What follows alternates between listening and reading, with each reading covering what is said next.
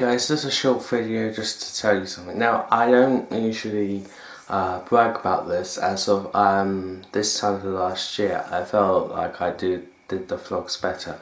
I will be vlogging for my birthday, which is tomorrow, but I just want to say that yes, on the 25th of August it will be my birthday and I'll be 17 years old.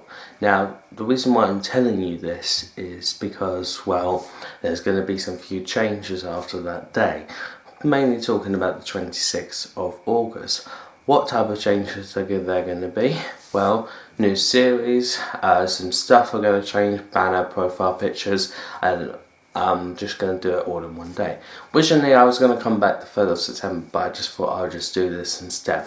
So yeah, so I'm going to be 17 tomorrow. Uh, well, and yeah. Ah, it feels weird, but you'll get my full feelings how I feel about it tomorrow. Anyway, uh, thank you guys for watching, and I'll see you on the next one.